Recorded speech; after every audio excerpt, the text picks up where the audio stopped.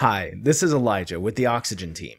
And in this video, I'm going to show you how to use custom SVG icon sets with Oxygen. By default, Oxygen includes both Font Awesome and Linear icon sets, which have a lot of really cool icons to use. But if you want to add your own custom flair, we have enabled you to upload your own SVG icon sets for use in your designs.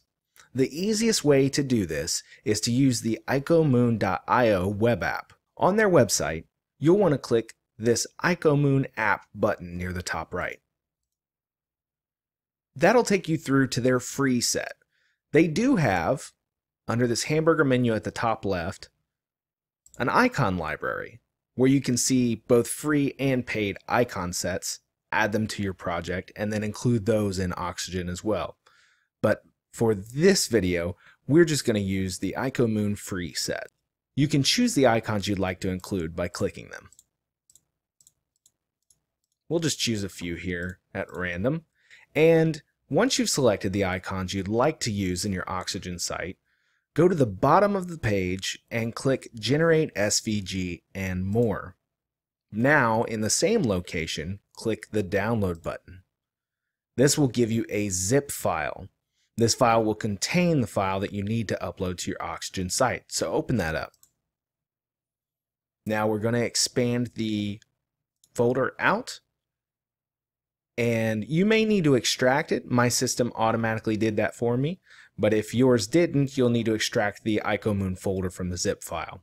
And then go into the folder, and what we're looking for is a file called symbol-defs.svg, which we have right here. Now, let's go to our Oxygen site. In the WordPress admin panel, go to Oxygen, Settings,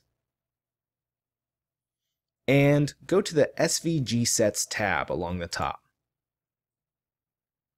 Now, we need to name our set. We'll call this icomoon. And we need to choose our downloaded file. Again, we're looking for the symbol-defs.svg within the folder that we downloaded from icomoon. Choose that and submit it.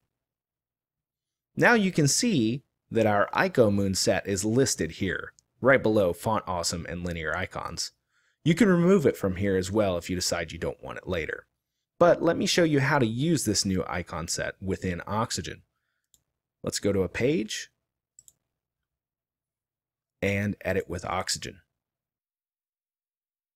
Now, if we want to insert an icon, we'll simply go to Add, Basics, Insert an Icon element, and in the Icon Set dropdown, we will now have our icomoon set. If there's any text in the search field here, you'll want to remove it, because if there aren't any icons that match the search query, it'll look like the set's empty.